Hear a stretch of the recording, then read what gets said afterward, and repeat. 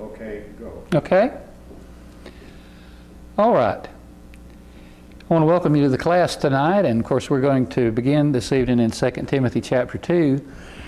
And from there, we'll go to James chapter 1. and we're continuing along with some things that we've been studying for a few weeks and comparing the Pauline epistles with what we'll call, uh, we, we'll call the Hebrew epistles in the King James Bible. And so, if you will, read with me tonight in 2 Timothy 2 from verse 7. 2 Timothy 2, verse 7. And he said, Consider what I say, and the Lord give thee understanding in all things. Remember that Jesus Christ of the seed of David was raised from the dead according to my gospel, wherein I suffer trouble as an evildoer, even unto bonds. But the word of God is not bound. Therefore I endure all things for the elect's sakes, that they may also obtain the salvation which is in Christ Jesus with eternal glory. Come down to verse 15 while we're here in the chapter. And so, verse 15, uh, we have Paul admonishing Timothy, and he says, Study to show thyself approved unto God, a workman that needeth not to be ashamed, rightly dividing the word of truth. Now, I have the little thing on the board here that we, you know, this is where we usually begin when we talk about rightly dividing the word. And we, we lay these things out and we separate Romans through Philemon because it's in Romans through Philemon where we find that truth that he's referring to in the passage that he calls my gospel. And if this is all that you can get a grasp on, if this is all that you can get a hold of pertaining to rightly dividing the word, well, praise the Lord for that because there are, you know, thousands of religious people in the world that can't see this or won't. That the scriptures are laid out in such a manner that we can separate the things that are to us and the epistles that Paul wrote to the church, the body of Christ, and see that they differ from these epistles here, which, which we call the Hebrew epistles, and from the things that uh, were referred to in the book of Acts by Luke and the accounts of the Lord's earthly ministry.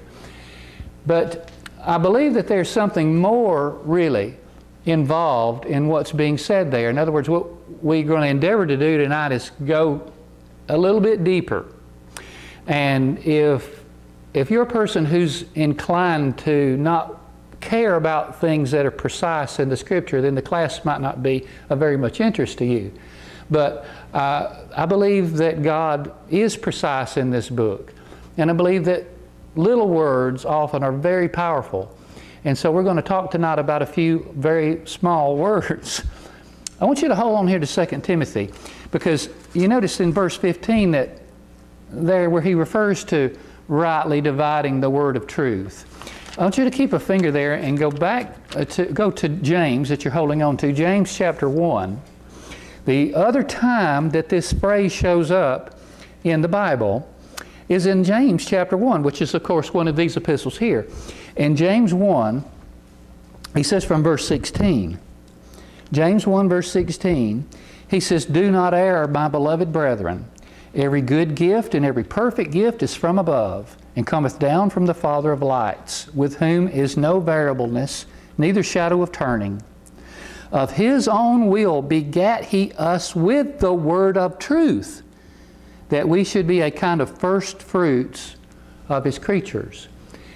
Well, in comparing these things together, these two passages where we find the word of truth referred to, you see, I believe that it's not just, it's not, when he, when Paul said to rightly divide the word of truth, I don't believe he's really saying necessarily to divide up the scriptures. I believe there's something really that's more specific involved, and we find here James referring to the fact that there are some people who were begat, were begotten by the word of truth, or with the word of truth, he says in verse 18, that we should be a kind of first fruits of his creatures. And if we wanted to, we could take the time and compare some things, but you see, there was a group of people who were born or begat unto the Lord at Pentecost. I believe in, it might have been the last class, but maybe the class before that, we talked about how that the, one of the things that these epistles point to has to do with the, the, eh, the preaching of the 12 on the day of Pentecost and the giving of the Holy Spirit, where they were uh, enlightened and illuminated and, and, and, on and on. Well, you see, the word of truth, that I, I believe that what is really meant by the word of truth is the preaching of the resurrection. There were some who were, became the first fruits at Pentecost. In fact, in Leviticus 23, I, I, I, won't ask you to turn there, but in Leviticus 23, when where Pente- the Feast of Pentecost is laid out, there is a reference to first fruits. There was a first fruits unto Israel that day, on the day of Pentecost, when those people repented and believed at the preaching of Peter and the twelve. And when they heard them preach the resurrection, there were people that were begat by that truth born unto God, as it were. So you see, I believe that the, in the precise sense of things in the Scripture, the word of truth is, the, is Jesus Christ risen from the dead. He is the, he said, I am the way, the truth, and the life. No man cometh unto the Father but by me. And so the word of truth is the proclamation of the resurrection, the proclamation that God raised His Son from the dead. And if you'll if you'll notice now, go back to 2 Timothy chapter 2, where the rightly dividing the word is referred to. In verse 8, for example, 2 Timothy 2, verse 8. so he says, Remember that Jesus Christ of the seed of David was raised from the dead according to my gospel. Notice he doesn't say just remember that Jesus Christ rose from the dead, the truth. But remember that Jesus Christ rose from the dead according to my gospel. So you see what it's going to what we're going to find out, Lord willing, we're going to see that the word of truth uh, is preached in more than one manner. The, the word of truth must be divided. There is, there is a preaching of the resurrection in this Bible that Paul said is according to my gospel. And yet there is other preaching of the resurrection. There's other preaching of the word of truth that is not according to what Paul called my gospel. And so those things have to be divided. You see, it's like what he's saying there is there are things that have to be separated in this Bible. And you can't, you are not dividing anything if you're adding. You can't add and say that you're dividing. That's, that, that, just, that's mathematically, uh, con, it's, it's a contrary. I don't know what the, the right word to say there is. But you know, there's another way you can divide, and it's by subtraction. Subtra- if you subtract something, you're dividing it. Well, there, there is a division that is to be made by the man of God in preaching the word of truth. And so, as I say, I want us to look at some simple words that, that make a, that are very, very important. And of course, you notice that there's one of these simple words is that word that's up there in verse 8 that Paul refer, he refers to my gospel. Look in chapter uh, 1 of 1 Timothy. Go to 1 Timothy chapter 1.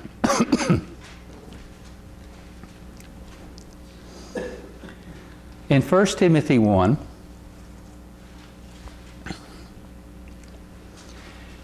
and verse 11 there is where we're what we're looking for.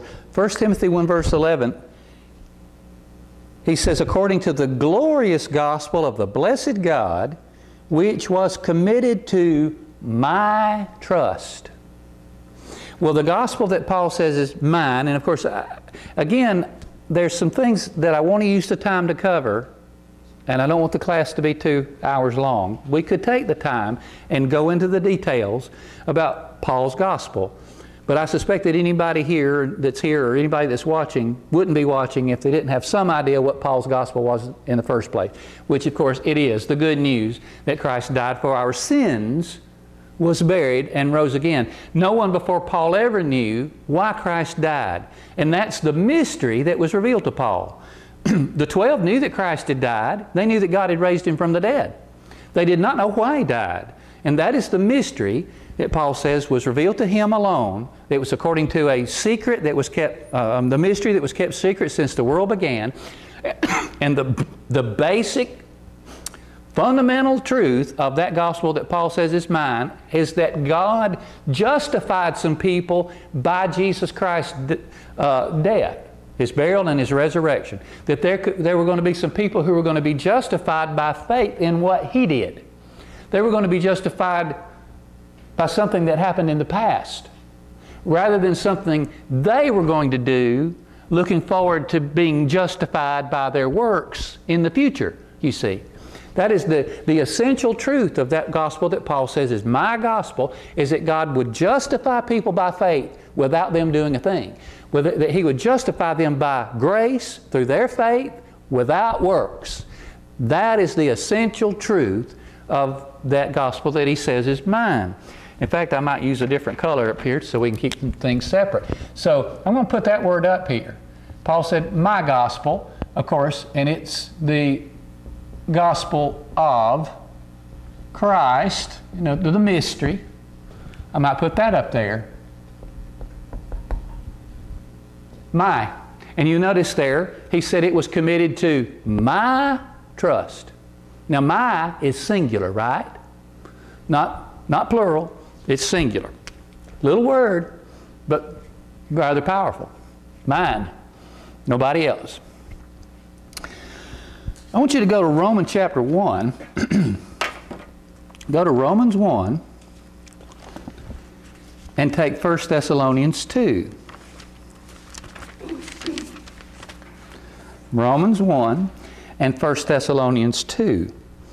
And maybe I need to, to mention this too before we go any farther that I believe that if you're going to be saved today, that you're going to be saved by this truth.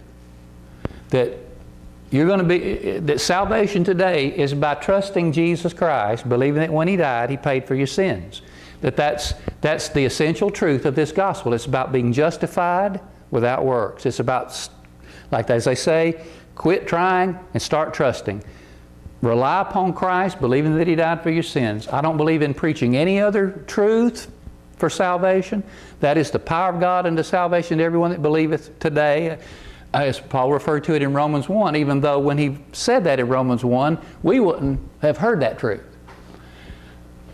But it's being made known unto all men today. So that's, I don't want anyone to misunderstand by anything they might hear on the video or any of you here that, that I believe in preaching anything any different than that for salvation today. That's how God saved me, and I believe that's how God will save you, or and, and that we're all anyone who is saved is saved by trusting Christ based upon the good news that he died for all men, which is the message today.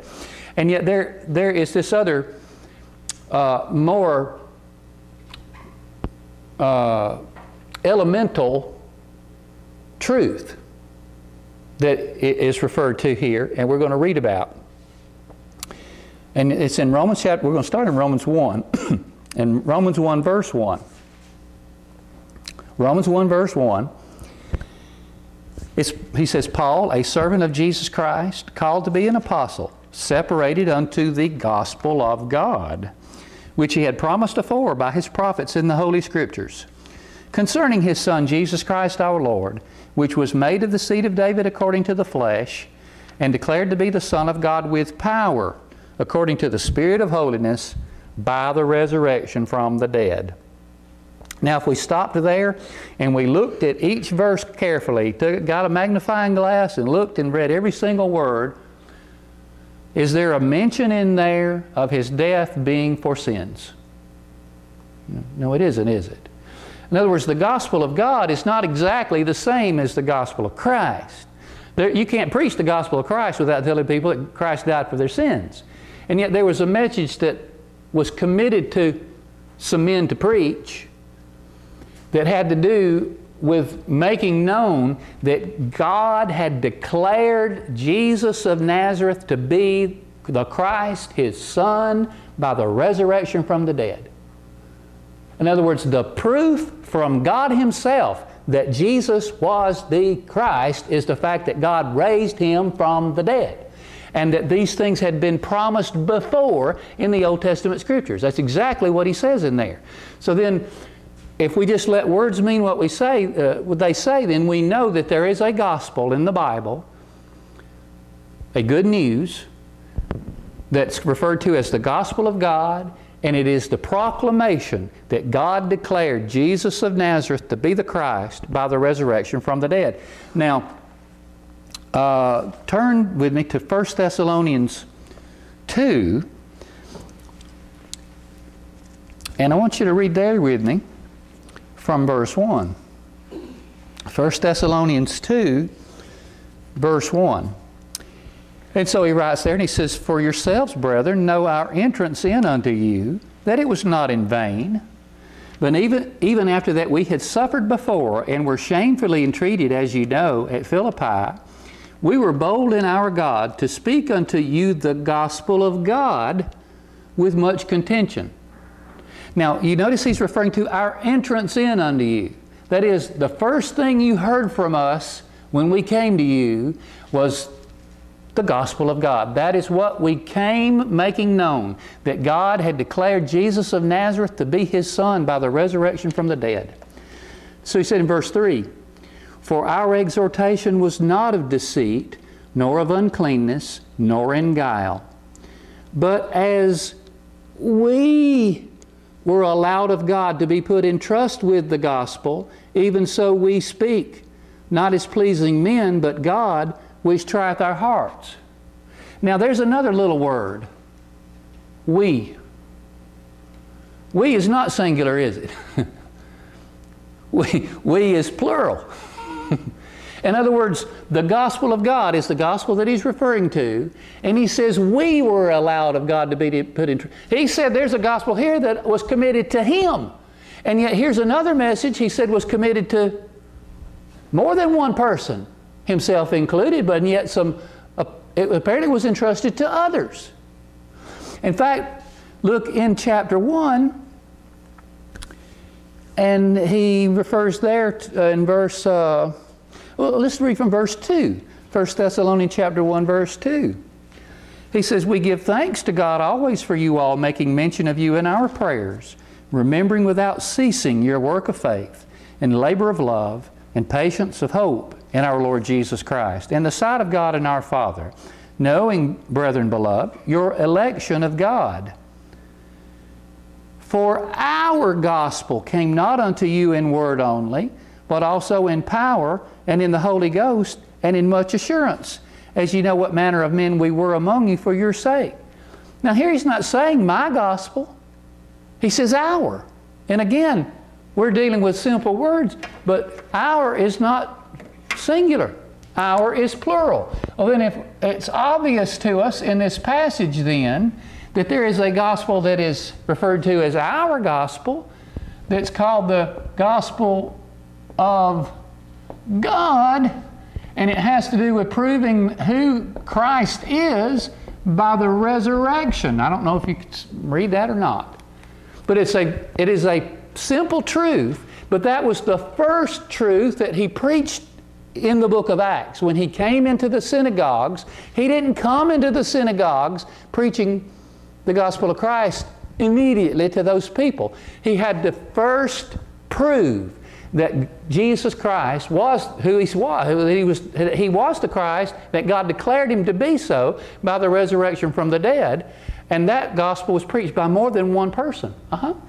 So the our is because he was pre the the twelve apostles were also given that. Yes, in fact, that word our it rather goes pretty. It goes even farther than that. It is a it, because it is ours because it is Israel's first of all, really. It, it, belongs to Israel. Jesus Christ was Israel's Savior. He came unto His own. He said, I'm not sent but unto the lost sheep of the house of Israel. So the word our pertains to Israel. In other words, it was a message that was to be preached to Israel. It belonged to them. But, the, but you're also correct in that it is ours because He said, We were allowed of God to be put in trust with it. That is, it was the message that all the apostles preached no matter who they were, if they weren't preaching that, they weren't an apostle. In fact, the indication is that to be an apostle, the qualification that is given in Acts chapter 1 is they had to be witness with them of the resurrection. That was what it was about. You, if you didn't witness the resurrection, you were not qualified to be an apostle. And therefore, our gospel was the message of the apostles who were sent to be witnesses of the resurrection. That is the base truth. It's like, I'm sorry for being, I just have to use whatever illustration comes to my mind, but the one that comes to my mind right now is to think about painting a house. And you go and you don't paint each room in the house the same color, but most of the time you will start with a base paint. And then there's pigment that's added to that base. This is the base truth. This is the basic truth that all truth in the New Testament is built upon. If Jesus Christ didn't rise from the dead, forget about it. Forget about believing anything. Just like that Paul said in 1 Corinthians 15. If Christ isn't risen from the dead, our faith is vain, our preaching is vain, uh, we're of all men most miserable. So see, that is the base, the basic truth, and yet we're going to find out, and, and as I think about it, that illustration is probably going to be pretty fit for what I hope to do. But you see there, this is the basic truth. And Paul, in his ministry, preached this so that he could build them up to that. You see, if they didn't receive this, we've talked about this before, but if they did not receive this truth, they could not, there was no way they were going to get that one. And it was necessary for him to do things this way. Now, uh, he, he refers there to our entrance in unto them just for just for an example, go to uh, Acts 17. Take Acts 17 in one hand and take Galatians chapter 1. Acts 17 and Galatians chapter 1.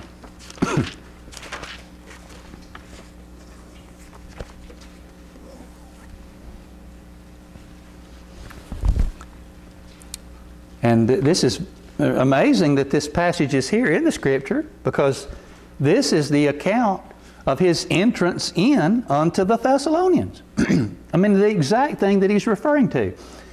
In Acts 17, verse 1, he says, Now, when they had passed through Amphipolis and Apollonia, they came to Thessalonica, where was a synagogue of the Jews. And Paul, as his manner was, very significant that it says that this was his manner. And Paul, as his manner was, went in unto them, and three Sabbath days reasoned with them out of the Scriptures, opening and alleging that Christ must needs have suffered and risen again from the dead, and that this Jesus, whom I preach unto you, is Christ. You notice his entrance in unto them was not immediately preaching to them that Christ had died for their sins. His entrance into them was, first of all, opening and alleging by the Scriptures that the Christ would have to suffer and rise from the dead. That, in other words, it says in the Scriptures that whoever Christ was going to be, he would suffer and rise from the dead. And he said, okay, now, Jesus of Nazareth fits those things. In other words, he is that one that was spoken of. So you find him, that's his entrance into them, first of all, preaching that gospel that he said was, was our gospel. Um, look in Galatians 1.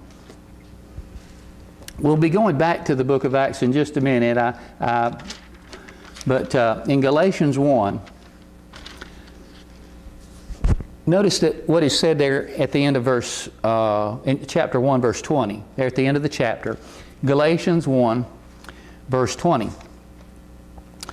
And he says, Now the things which I write unto you, behold, before God I lie not. Afterwards I came into the regions of Syria and Cilicia, and was unknown by face unto the churches of Judea which were in Christ.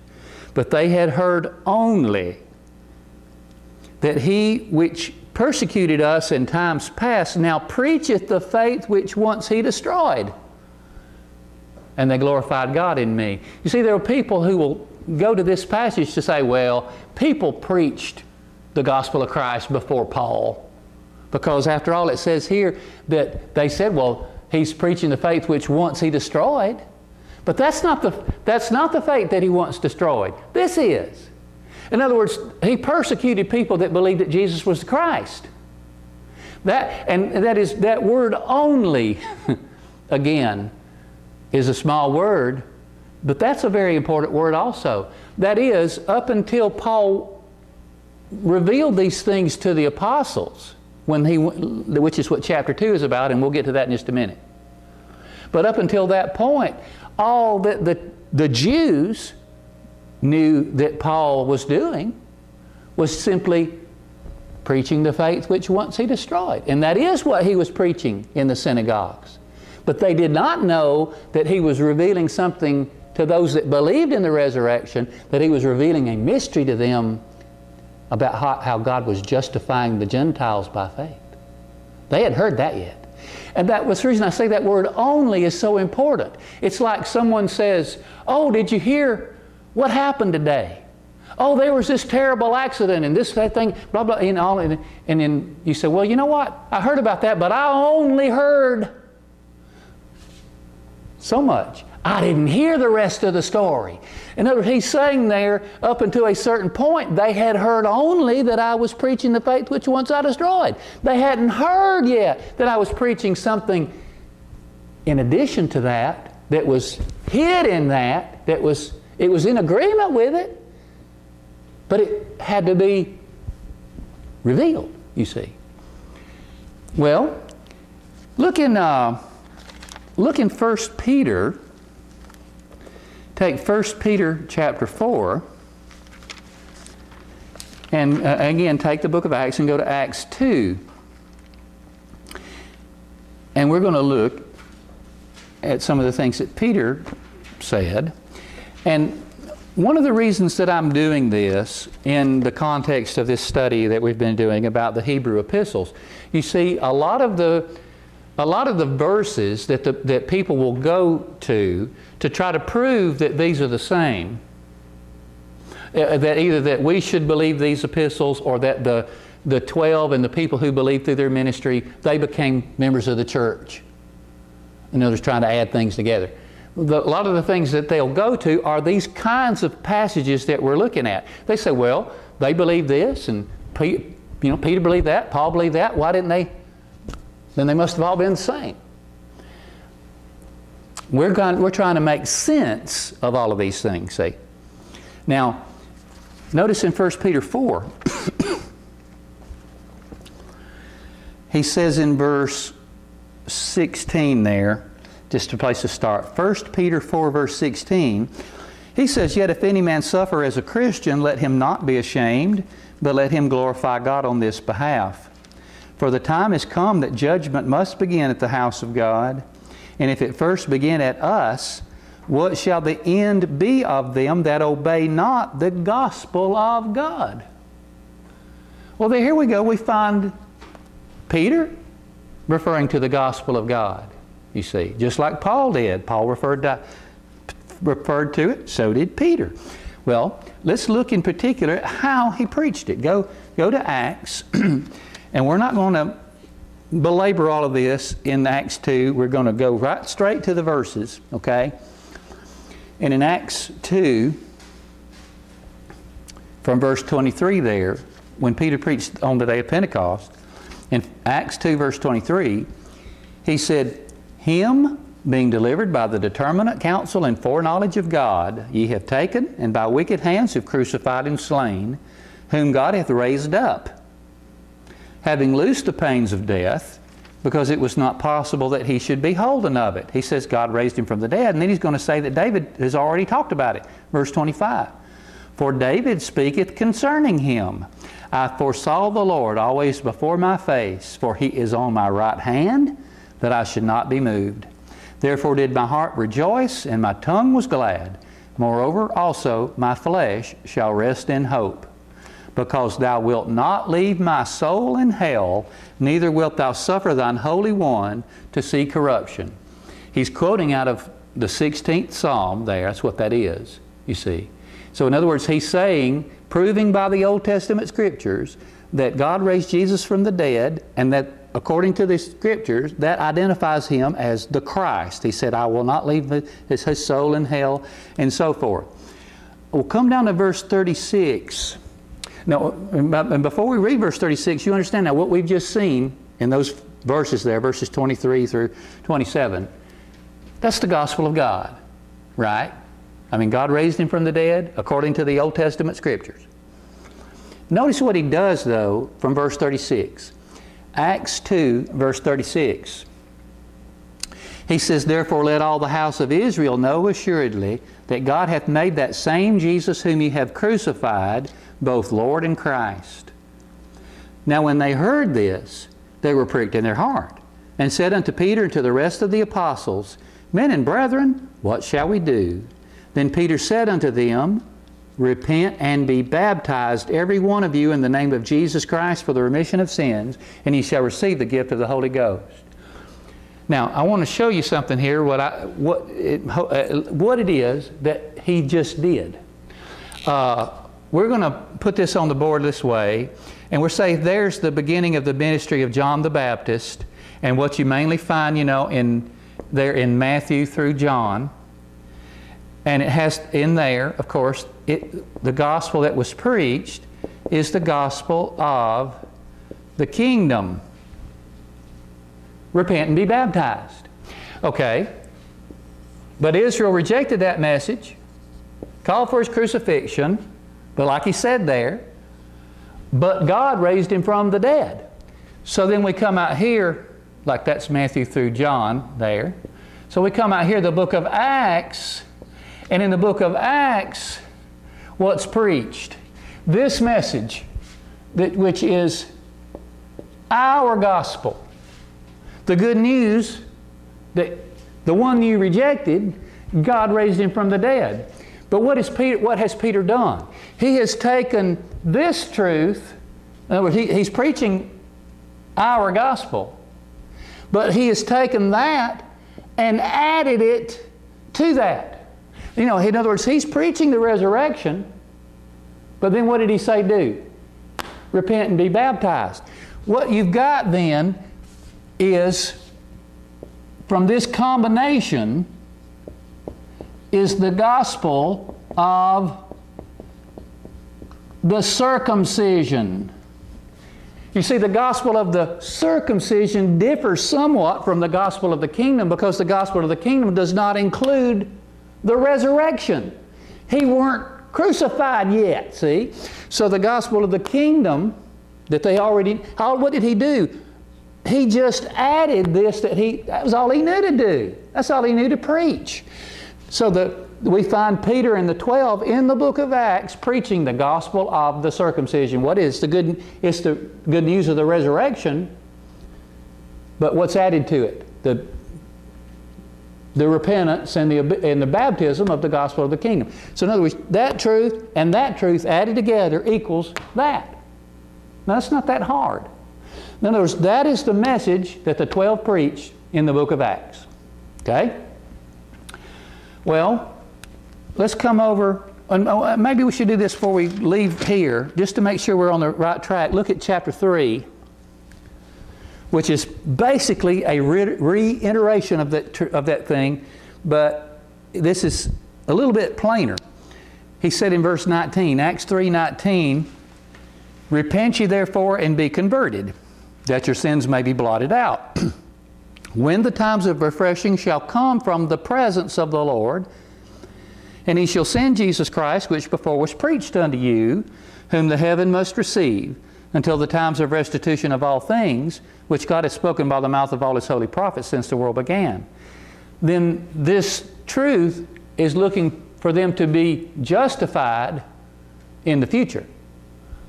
When he shall come back, when the, referring to the, the, the presence of the Lord. That is, th those people who heard and believed, repented, and were baptized weren't yet justified. They had to work and endure and keep believing. In other words, th this is not a message of justification immediately. It is a message of justification that they can have if they do certain things, you see. It is a it looks forward to the coming of the Lord. It is a forward-looking uh, thing for justification for them. See. Now, go to chapter 13.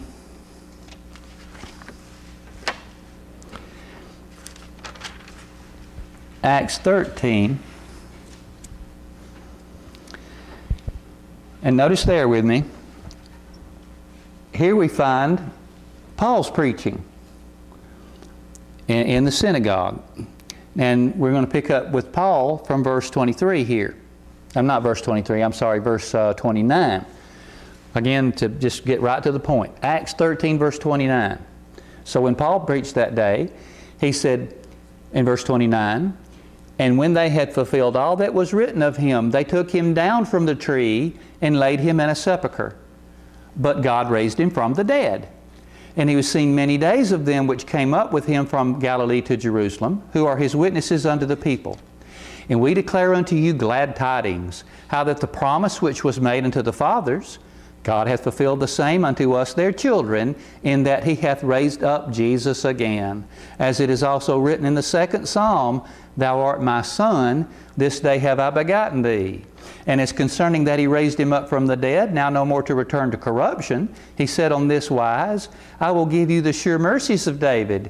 Wherefore he saith also in another psalm, Thou shalt not suffer thine Holy One to see corruption. Do you see that he's actually using some of the exact same verses that Peter used? He, he, what did Peter do in Acts 2? He went to the Psalms, quoted the Psalms, said God has raised him from the dead. What is Paul doing here? He's preaching that God raised Jesus from the dead, and he's going back to the Psalms. Up to this point, it's exactly the same. What is it? It's our gospel. In fact, it says very plainly, look at verse 23, just in case you might miss it. Acts 13, verse 23. Of this man's seed hath God, according to his promise, raised unto who? Israel. It's our truth, see? Israel's.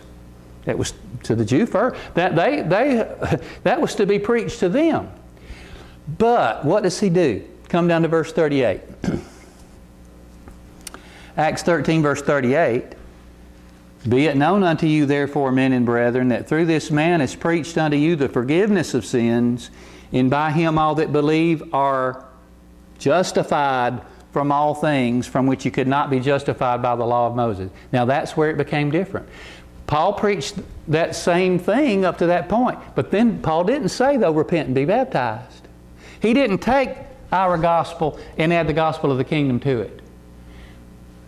But he did add something to them there, to that, add something to that truth, which was the essential ingredient of that truth. What was it? Justification already. Therefore, we find Paul's preaching here and what he's doing, what is Paul doing? Well, he's also preaching our gospel, but he adds that essential truth of justification. And what you have him preaching then in here is the gospel of the uncircumcision. Did I write this?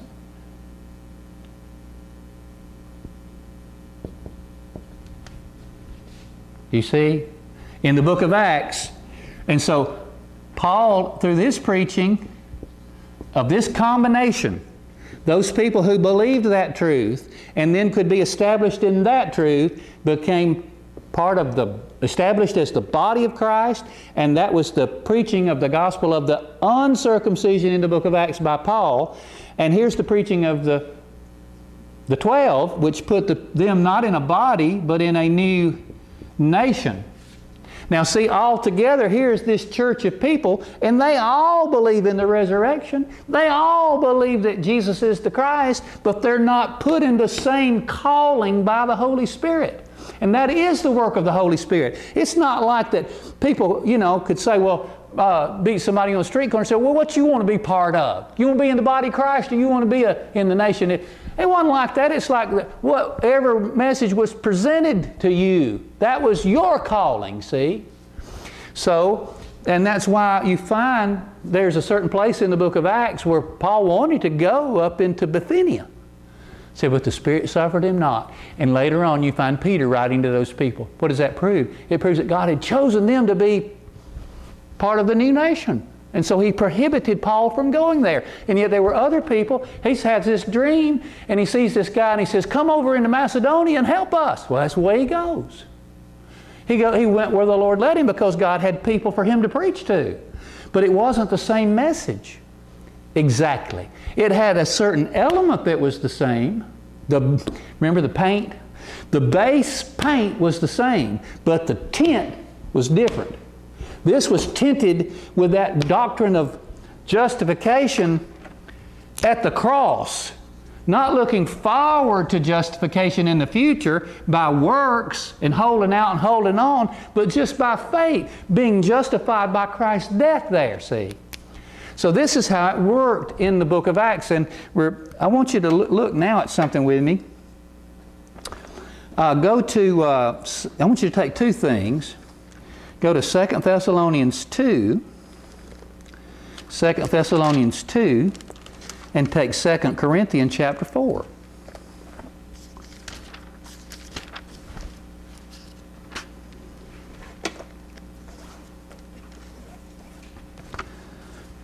Second Thessalonians 2 and 2 Corinthians 4.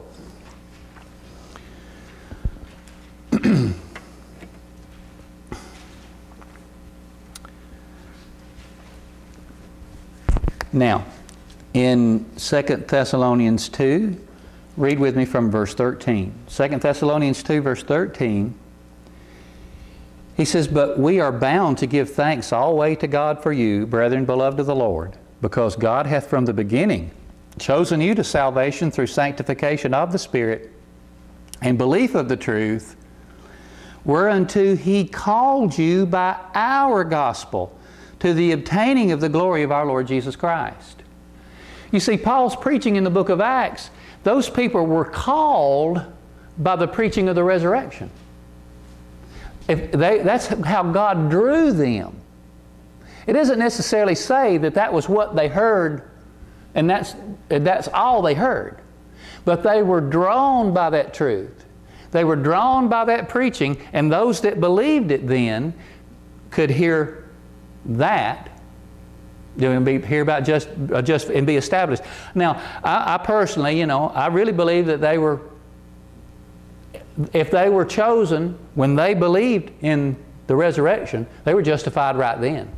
And when they heard this, they became established, and we could we could prove that in the Bible. But I'm trying to keep it just as simple as I can because that's this is how Paul did it. He began with that, added that, then they're established. See. Notice in 2 Corinthians 4. 2 Corinthians 4, verse 1. He says, Therefore, seeing we have this ministry, as we have received mercy, we faint not, but have renounced the hidden things of dishonesty, not walking in craftiness, nor handling the word of God deceitfully, but by manifestation of the truth, commending ourselves to every man's conscience in the sight of God. But if our gospel be hid, it is hid of them that are lost, in whom the God of this world hath blinded the minds of them which believe not, lest the light of the glorious gospel of Christ, who is the image of God, should shine unto them. Do you see what's really being said in there? He's saying, if our gospel be hid, it is hid to them that are lost. If they can't get that, well, he said they have to see that, or else, lest the light of the glorious gospel of Christ should shine unto them. You see, they were called, he said, by that truth. But that was the real message of their salvation, you see. And so, the thing, you know, that people have thought just letting these things be what they are because down through the years, you know, the grace believers have used this passage to say, well, what's the gospel? Well, I don't know. Well, then you're lost. Because you don't know what the gospel is, therefore you must be lost. Well, you know, if I talk to somebody and they don't know what the gospel is, there's a good possibility they are lost. But that's not what this passage is in the Bible for. Now, you know, we can make an application of all things in the Scripture, and maybe there's some, you know, a place where you could use that. But if I'm going to teach it, and I'm going to say, what does it say and what does it mean? That's what it means. That's what it's about. It's about the fact that in the book of Acts, in fact, the, the idea about them that believe not, believe not what? Resurrection. He's blinded the minds of them which believe not in the resurrection. And we could say the same thing is true today, really. That if people don't believe in the resurrection, I mean, it, it, you know, it really comes down to the same thing even though this truth is not ours, that this isn't. That's what we're going to get to in just a second. And yet, it's about the same thing. It's just that our gospel was about the good news that God had kept His promise to Israel and the fathers. But the one that belongs to us doesn't include them at all. Just hang on. We're going to look at two or three other little things. Go to go, back again to Galatians just a second. Galatians 2.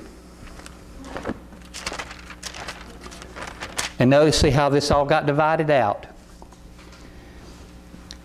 In Galatians 2, we find this is where Paul went and finally told the apostles this gospel about God justifying the Gentiles. And uh, just read from verse 6 there with me. Galatians 2, verse 6. He says, But of these who seem to be somewhat, whatsoever they were, it maketh no matter to me. God accepteth no man's person. For they who seem to be somewhat in conference added nothing to me. But contrariwise, when they saw that the gospel of the uncircumcision was committed unto me, as the gospel of the circumcision was unto Peter.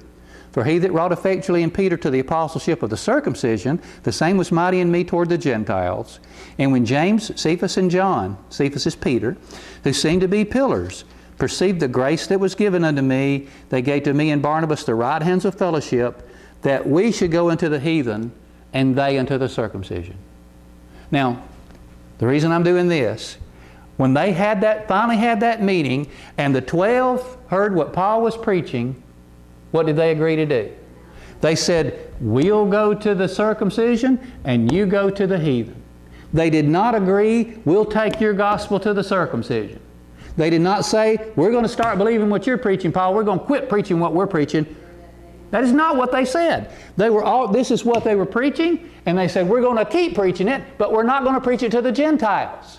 And anybody that has preached that gospel there about believe in the resurrection and repent and be baptized is out of the will of God because they made an agreement there that this was the message that God had sent to the Gentiles. So the, this is the that, that that's where it got separated out, and and so there that was the way it was to the end of the book of Acts. But now I want you to just hang in just a couple other things. We've come all this way, so just just hang on. Go to Acts 20 and take Ephesians chapter 3.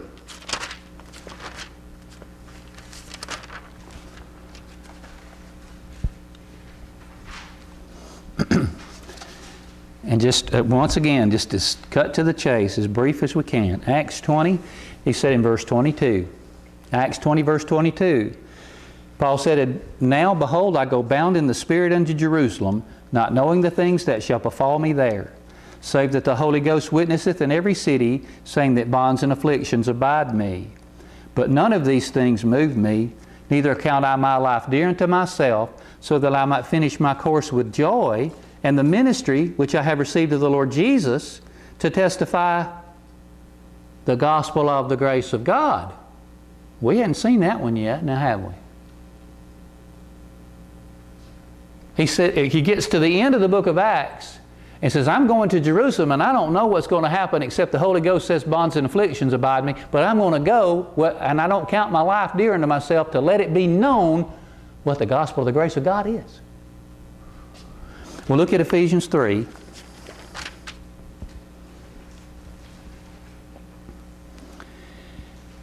In Ephesians 3, from verse 1 there, we're going to just fact, kind of skip through the the passage here. Ephesians 3, verse 1. He says, For this cause I, Paul, the prisoner of Jesus Christ, for you Gentiles, if you have heard of the dispensation of the grace of God which is given me to youward, Come down to verse 6. That the Gentiles should be fellow heirs and of the same body and partakers of his promise in Christ by the gospel. He became a prisoner, you see, for saying that this truth that he had been preaching to the people who believed in our gospel. Now he's going to. He said, I'm, "God has sent me with that far hence unto the Gentiles, as it's not fit that this guy should live." So, what? In other words, then by the book of Acts, then what's the gospel that's preached? He says it's the gospel of the grace of God. Look, keep a finger there in Ephesians. Look in 1 Timothy. I promise just a couple other references and we'll stop. 1 Timothy 2.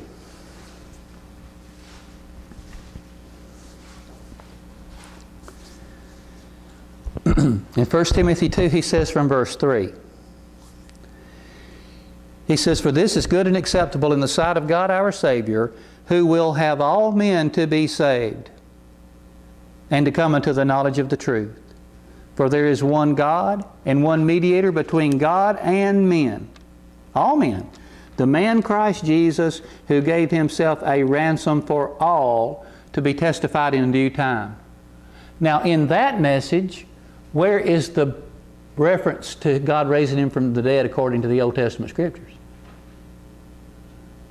Where is the proof that he's the Christ? That's not part of it, is it?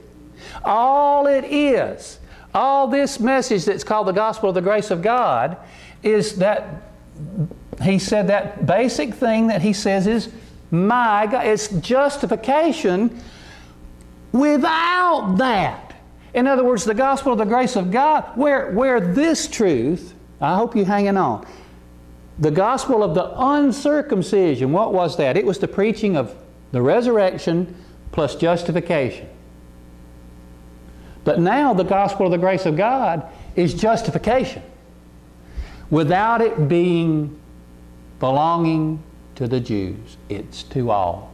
So you see what we've done with, Paul said, remember that Jesus Christ of the seed of David was raised from the dead according to my gospel, and he said to rightly divide it. the I, I, I feel like a failure here all of a sudden.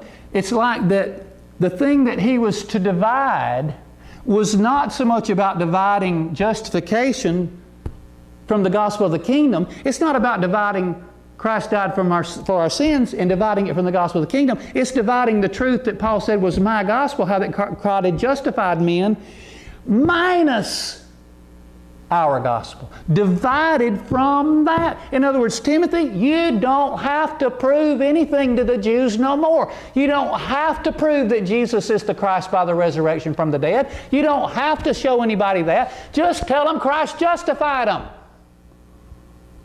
That he justified everything. He justified them all. That see, that is not the same thing as that gospel. Now, the last thing, look in Ephesians 1.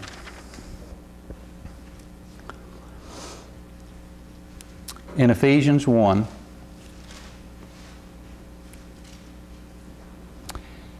and Paul said from verse 12, that we should be to the praise of his glory, who first trusted in Christ, in whom ye also trusted, after that ye heard the word of truth, the gospel of your salvation, in whom also after that ye believed, you were sealed from that Holy, with that Holy Spirit of promise. Then here's the last little word. There's my, there's our, and there's your your gospel, which is that Christ died for all. This truth in the beginning was only revealed to people who believed that one to start with. But when this one was sent to you, see, it became the gospel of the grace of God. Because technically speaking, you should have never heard it. Because according to the Old Testament scripture, he didn't die for you. Now, I, I, I know, I guarantee you there's people in the world that do not get this. If it was not for Paul's suffering and that revelation that he received when God caught him up and that he became a prisoner for, you could not find your salvation in the Bible. You could not prove to anybody that God saved you. And, I, and it, uh, I've never been able to understand why preachers and teachers resist seeing these differences. That something changed after the book of Acts. And of course, we that believe this truth, the body that we became a part of was not this new nation. Because that, God was through with that by the end of the book of Acts. But by the cross, He put us together with that body that was already there. That's the one new man. And added us, put us together with them. See? That's the part that we, but we were joined. He didn't join this and this together. He joined this and this. The church, the, the 12 and the new nation didn't become part of the body. We did. So words in the Bible are very important. These little words. My gospel, that was the mystery that was hid in the Old Testament scriptures. And Paul could show that in the book of Acts to people who believed that truth because he wasn't preaching that in the book of Acts. He was kept from it until it was time. And now's the time, and before too long, it's going to be up. That's the gospel that saves us today. And that's, that's, again, I don't preach this truth for people today, but Paul certainly did in the book of Acts. Thank you for your patience. I hope this got, you know, was helpful for somebody. And uh, sure appreciate y'all being here tonight. We're dismissed.